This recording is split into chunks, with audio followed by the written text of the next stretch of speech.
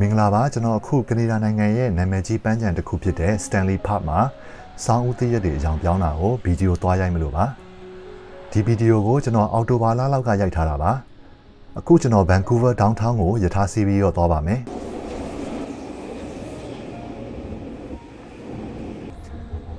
အဲ့ဒီနေရာတနေကုန်ချိန်ပေးပြီးတော့ဗီဒီယိုရိုက်ထားလို့ဗီဒီယိုကတော်တော်ရှည်ပါတယ် ကြည့်ရတဲ့သူတွေလည်းတက်အောင်လို့အကောင်းဆုံးစူးစမ်းပြီးတော့ရိုက်ထားပါတယ် editing ကိုလည်းသေချာလေးလုပ်ထားပါတယ်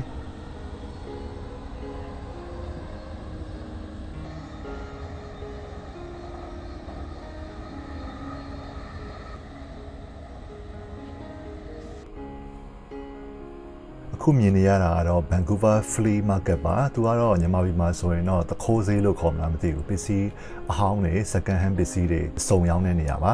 ဒါကတော့ Pacific Central Train Station မှာဒီ Vancouver ကနေပြီးတော့အနီးတစ်ဝိုက်မြို့တွေကိုသွားတဲ့အဝေးပြေးကားတွေရပ်တဲ့နေရာပါပြီးတော့အမေရိကကနေပြီးတော့ Vancouver ကိုရထားနဲ့လာပြီဆိုရင်ဒီရထားကဒီ Pacific Central Station မှာအဆုံးသတ်ပါတယ်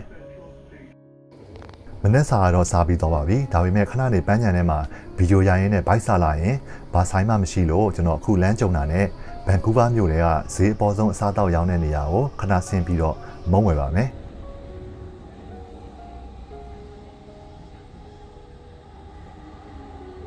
အခုကျွန်တော်ရောက်နေတာကတော့ Costco မှာပါပစ္စည်းတွေကိုဂိုဒေါင်းလေးလိုပုံစံထားပြီးတော့ရောင်းတဲ့နေရာမျိုးပါ hot dog တစ်ခုနဲ့အေးအေးတစ်ခွက်ကိုမှ1.50 cent ပဲပေးရပါတယ်မြန်မာငွေနဲ့ဆိုရင်တော့1500ကျပ်လောက်ပဲကျပါတယ်အေးကလည်းကုန်သွားပြီဆိုရင်ထပ်ဖြည့်လို့ရပါတယ်ကျွန်တော်ဒီ Costco မှာနောက်တစ်ခုကြိုက်တာကပူတင်းပါအခုကျွန်တော် hot dog နဲ့ပူတင်းဝယ်ပါမယ်ကျွန်တော်ပတ်စံအသုံးဖြုံးကြီးတဲ့လားတွေပတ်စံသိမ့်မသုံးကျင်တဲ့လားတွေဆိုရင်ကျွန်တော် Costco မှာလာစားလေးရှိပါတယ် ဒီအပိုင်းနေရာကိုဗစ်ဖြစ်နေလို့ကျွန်တော်လည်းပြင်းတာနဲ့ပစ္စည်းတွေရှောက်ရှောက်ဝယ်တာပေါ့နော်အဝတ်စားတွေလျှက်စစ်ပစ္စည်းတွေရှောက်ဝယ်တော့ဒီအပိုင်းပတ်စံတွေသုံးဖြုံးကြီးနေလို့အစားကတော့ ramen စားကျင်တာပေါ့နော်ဒါပေမဲ့ခနေ့တော့ Costco က hot dog နဲ့ပူတင်းနဲ့ပဲတင်းတိမ်လိုက်ပါမယ်ပူတင်းကပူပူနွေးနွေးစားရတဲ့ဟာဆိုတော့အခုဒီမှာထိုင်ပြီးတော့စားရပါမယ်။ hot dog ကတော့ခဏနေဗီဒီယိုရိုက်ရင်းနဲ့စားရင်စားဖို့ကျွန်တော်အဆောင်ထားလိုက်ပါမယ်။ပူတင်းဆိုတာကနေဒါရဲ့နာမည်ကြီးစနက်တစ်ခုပါ။အာလူးချောင်းကြော်ကို gravy နဲ့ mozzarella cheese နဲ့နေပြီးတော့စားရတာပါကျွန်တော်အမေကနေဒါကိုအလဲတာအောင်ကကျွန်တော်ဘူတင်းဝယ်ကြွေးတာသူကတော့မကြိုက်ပါဘူးကျွန်တော်ကတော့ကျမ်းမာရေးနဲ့မညီညွတ်တဲ့ဒီလိုစီကြော်မုံနေဆိုရင်ကျွန်တော်အရန်ကြိုက်ပါတယ် Costco ကပုံမှန်ဆိုရင်ထိုင်စားလို့ရတဲ့ခုံတွေစပွဲတွေရှိပါတယ်အခုက COVID ဖြစ်နေလို့ခုံတွေကိုတင်ထားပါတယ်အဲဒါကြောင့်မလို့ကျွန်တော် platform ဘေးမှာထိုင်စားရပါတယ်ဒီကိုရီးယားစားခြင်းလို့ဘေးနားမှာရစ်တီရစ်တီနဲ့ဈေးညံရှောင်နေပါတယ်ကိုရီးယားကိုဘေးမှာဝိုင်းဝိုင်းလည်နေတော့စားရတာတိတ်အဆင်မပြေပါဘူး စကပုံနဲ့လို့ပြောမယ်ဆိုရင်တော့ကြီးလန်းစာစားနေရတယ်ပေါ့နော်ခုကျွန်တော်ဘွားကတော့ခိုလန်းစာစားနေတဲ့ဘွားမျိုးကိုရောက်နေပါတယ်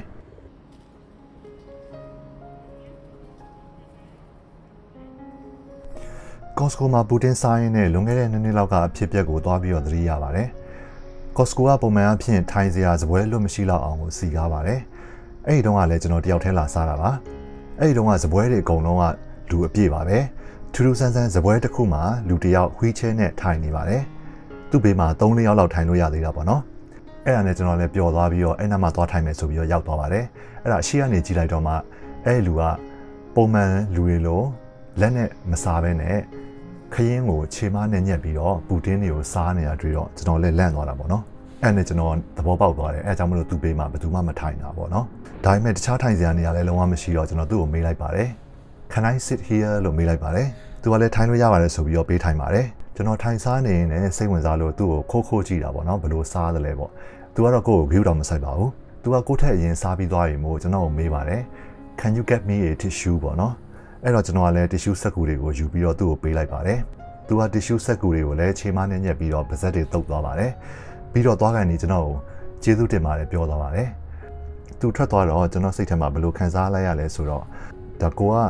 သူများတွေဘယ်သူမှမထိုင်ရင်တဲ့နေရာမှာထိုင်ပြီးတော့သူနဲ့အတူစားပေးတယ်ပြီးတော့သူလိုချင်တဲ့ tissue set ကူတွေကိုလည်းကျွန်တော်ယူပေးတဲ့အတွက်အနည်းဆုံးတော့ကျွန်တော်သူ့ရဲ့ at least I make his day ပေါ့နော်အဲ့လိုခံစားလိုက်ရပါတယ်နောက်ပြီးတော့လည်းတခုတွေးမိတာကကျွန်တော်တို့လူတွေကပုံမှန်အားဖြင့်လက်နှစ်ဖက်ခြေထောက်နှစ်ဖက်အစုံပါပါတယ်ဒါပေမဲ့ တချို့လူတွေကဘဝကိုလွယ်လွယ်နဲ့ရှုံးပေးရတဲ့သူတွေရှိပါတယ်ပြီးတော့တချို့တွေဆိုရင်တစ်ချိန်လုံးလောကကြီးကိုထိုင်ပြီးတော့ complaint တက်နေတဲ့သူတွေရှိပါတယ်ဒီလိုဆိုရင်သူများရဲ့လိုလက်နက်ဖက်မပါပါဘူးပြီးတော့ခြေထောက်ပဲပါပါတယ်ပြီးတော့အများအား wheelchair မှာထိုင်နေရတဲ့ဘဝပေါ့နော်ဒါမှမဟုတ်သူကဘဝကိုအရှုံးမပေးဘဲနဲ့သူ့ဘာသူအရန်ကို independent ဖြစ်နေပါတယ်ပြီးတော့အခုလိုနေရာမျိုးမှာဘယ်သူမှဂရုမစိုက်ပဲနဲ့ confident အပြည့်နဲ့လာပြီးတော့ပုံမှန်လူတွေလိုစားနိုင်ပါတယ်သူ့ကိုကြည့်ပြီးတော့ကျွန်တော်လဲ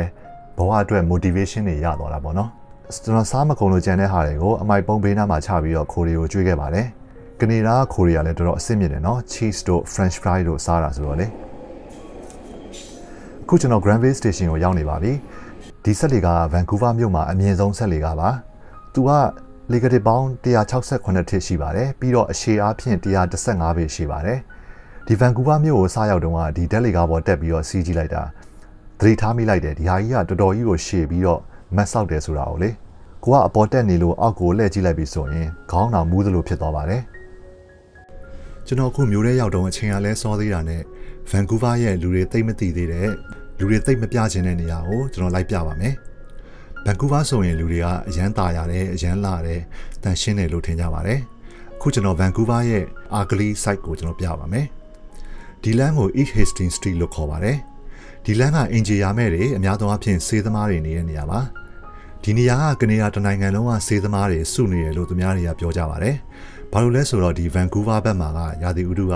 တခြားနေရာတွေနဲ့ရှင်မယ်ဆိုရင်အရန်ကြီးမအေးလို့ပါ။အဲ့ဒါကြောင့်မလို့ဒီမှာကလမ်းဘေးမှာဆောင်းချုံပြီးအိတ်လို့ရတဲ့အနေအထားမျိုးရှိပါတယ်တခြားနေရာမှာဆိုရင်တော့ရာသီဥတုကအရန်အေးလို့လမ်းဘေးမှာအိပ်ပြီးဆိုရင်တောင့်ပြီးတော့သေသွားမှာပေါ့နော်ပြီးတော့ဒီမှာဆေးချတာတို့ဆေးထိုးတာတို့ကပေါ်တင်ကြီးလုပ်နေကြတာပါ အများသုံးအိမ်သားတွေထဲမှာဆိုရင်တခါတလေဆေးထိုးအပ်တွေကြံနေတာတွေခဏခဏမြင်မှုပါတယ်ပြီးတော့ဒီမှာ overdose ဖြစ်ပြီးသေမှာဆိုလို့ဒီလမ်းထဲမှာပဲကျွမ်းကျင်တဲ့ဆေးဝန်ထမ်းတွေကတရားဝင်ဆေးထိုးပေးတယ်လို့သိရပါတယ်အဲ့လိုတရားဝင်စေထိုးပေးတဲ့အကြောင်းကိုအရင်က BBC Burmese မှာတော့ documentary အနေနဲ့ရိုက်ပြထားတာရှိပါတယ်စိတ်ဝင်စားရင် YouTube မှာရှာကြည့်လို့ရပါတယ်ဒီ E Hastings Street မှာလမ်းလျှောက်ပြီးဆိုရင်ဘာတွေမြင်ရမလဲဆိုတော့လမ်းပေါ်မှာတန့်နေထိုးပြီးတော့အိတ်နေတဲ့သူတွေ ချက်ဆက်ကူတွေခင်းပြီးတော့အိတ်နေတဲ့သူတွေပြီးတော့သူတို့ပိုင်ဆိုင်တဲ့ပစ္စည်းအစုပ်ပြက်တွေကိုခင်းပြီးတော့ရောင်းနေတဲ့သူတွေဆေးပြက်လို့ဆေးလိုက်တောင်းနေတဲ့သူတွေစလိတ်တွေလိုက်တောင်းနေတဲ့သူတွေဘိုက်စာလို့ထမင်းစားဖို့ပတ်စံလိုက်တောင်းနေတဲ့သူတွေပြီးတော့ကျွန်တော်တို့လိုယောက်ျားလေးတွေကိုတွေ့ရင်ဆေးလိုက်ရောင်းနေတဲ့သူတွေ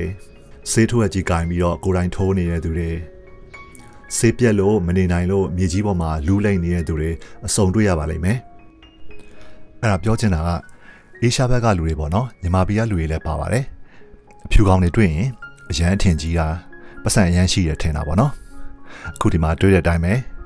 သူတို့နိုင်ငံမှာလည်းဒီလိုလမ်းဘေးမှာအိတ်တဲ့သူတွေပတ်စံမရှိတဲ့သူတွေအင်ဂျီယာမဲတွေအများကြီးရှိပါတယ်အဖြူတွေအကုန်လုံးလည်းမချမ်းသာပါဘူးနော်ဒီလမ်းဘေးမှာအိတ်နေတဲ့လူတွေကိုကျွန်တော်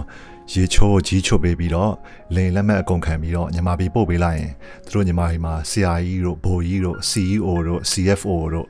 Director တို့ Manager တို့ဖြစ်ချင်းဖြစ်သွားနိုင်ပါတယ်ပြီးတော့ဒီ Vancouver ဘက်မှာကတနစ်တနစ်ကို overdose ဖြစ်ပြီးတော့တကယ်သူကတခြားမျိုးတွေနဲ့ရှင်အများဆုံးပါတလားတလားမှာဟို overdose ဖြစ်ပြီးတော့သေရသူတွေ200 300လောက်ရှိပါတယ်ဒီနေရာမှာရဲကားတွေအများရှိပါတယ်ပုံမှန်ဆိုရင်တော့ဒီလမ်းကိုကျွန်တော်လမ်းဆင်းလျှောက်ပါတယ်အခုတော့ကျွန်တော်ဗီဒီယိုရိုက်နေတာဆိုတော့လမ်းလျှောက်ပြီးတော့ရရင်အရန်သိတာမှာဆိုလို့ကျွန်တော်ဘတ်စကားဘွားနေပြီးတော့ရိုက်နေတာပါဒီလမ်းကထင်သလောက်တော့ကြောက်စရာမကောင်းပါဘူး ပုံမှန်လူတွေလည်းဒီလိုပဲသွာလာနေကြတာပါပဲအဲ့ဒီလူတွေကလည်းသူတို့ဘာသာသူတို့နေကြတာပါကနေဒါနိုင်ငံမှာကဆေးတွေရောင်းဝယ်လုပ်တာကပေါ်တင်ကြီးတွေလုပ်နေကြတာပါကိုရှိမှာပဲပတ်စံနဲ့အထုပ်ကလေးနဲ့အလဲလဲလုံနေတာတွေကျွန်တော်ခဏခဏမြင်မှုပါတယ်ပြီးတော့ဒီမှာလည်း marijuana 2018လောက်က legal ဖြစ်သွားပါတယ် marijuana ရောင်းတဲ့ဆိုင်ဆိုပြီးတော့ဆိုင်တွေဖွင့်ထားပါတယ်လိုအပ်ရင်သွားဝယ်လို့ရပါတယ်အဲဒါကြောင့်မလို့ Vancouver မြို့ဆိုတာလူတွေထင်ထားသလို social media ထဲမှာသတင်းတွေထဲမှာ မြင်ရသလိုမျိုးအရန်ကြီး perfect ဖြစ်တဲ့နေရာကြီးတော့မဟုတ်ပါဘူးပတ်စံပေါ်ပြီးဒီမှာကျောင်းလာတက်တဲ့လူငယ်တွေဆိုရင်ပျက်စီးခြင်းလွယ်လွယ်လေးပါနော် East Hastings Street နဲ့ပတ်သက်တဲ့ဟာဒီလောက်ပါပဲအာဂရီ site ပြီးသွားပြီဆိုတော့ကျွန်တော် British site တွေကိုပဲပြပါတော့မယ်ခုနကရောက်ခဲ့တဲ့ကျွန်တော် Granville Station ကိုပဲကျွန်တော်ပြန်လာတာပါအခုဘတ်စကားမောင်းနေတဲ့လမ်းကတော့ Granville Street လို့ခေါ်ပါတယ်။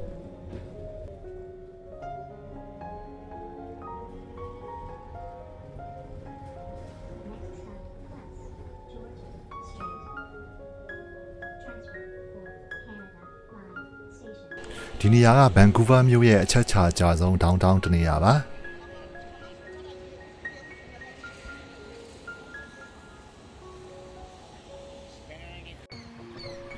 ညာဘက်ကဟိုတယ်အညူရောင်က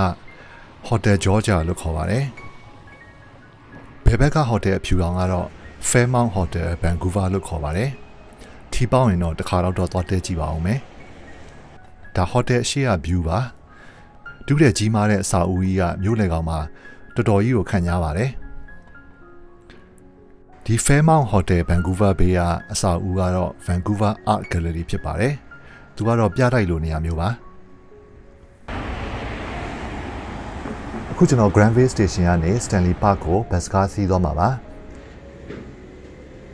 Stanley Park ထဲကိုမဝင်ခင် West Georgia Street နဲ့ Denman Street မှာ တစ်ပင်တွေအတန်းလိုက်ကြီးအကြောင်ပြောင်းနေတာအရန်လာလို့ကျွန်တော်ဗီဒီယိုဆင်းရိုက်ခဲ့ပါတယ်။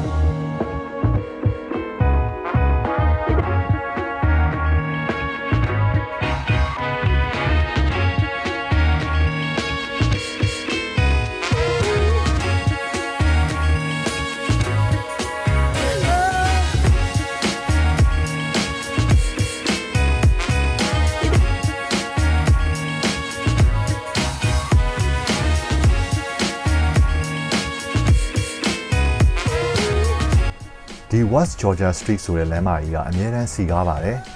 ဒီလမ်းက Vancouver downtown ကိုဆက်သွယ်ထားတဲ့လမ်းပါအဲအကြောင်းမလို့ဒီလမ်းကနေ Vancouver downtown ကအထက်မြင့်တိုက်ကြီးတွေကိုလမ်းမြင်ရပါတယ်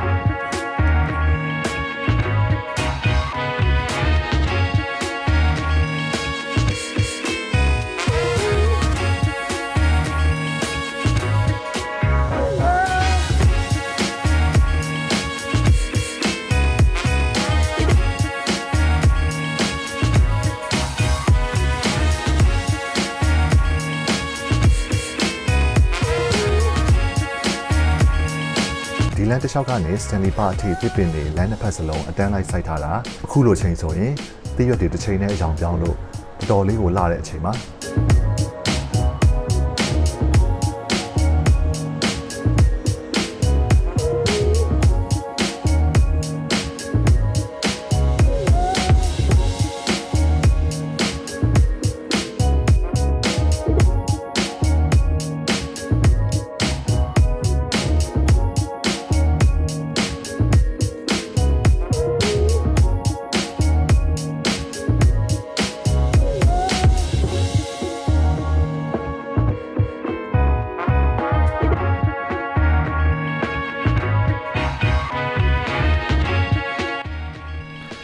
ရေကန်ကို Lost Lagoon လို့ခေါ်ပါတယ်။သူက Stanley Park ရဲ့ရှေ့မှာရှိတာပါ။အခုမြင်နေရတဲ့တစ်ပင်တွေအုံဆိုင်နေတဲ့နေရာကတော့ Stanley Park ပဲဖြစ်ပါတယ်။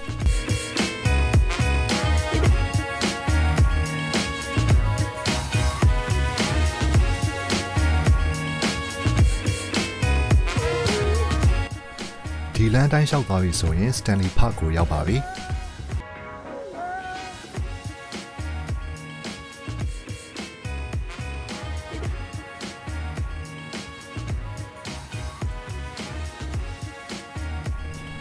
ဒီယိုရမ်းရှည်နေပြီမို့ကျွန်တော်ရဲ့ Vancouver Fall Color အပိုင်း3ကိုဒီမှာပဲဆုံးသက်လိုက်ပါတယ်။နောက်ဗီဒီယိုမှာ Stanley Park ထဲမှာရိုက်ထားတဲ့အရန်လာတဲ့ရှုခင်းတွေကိုတဝါကြီးကြည့်ရမှာမို့လို့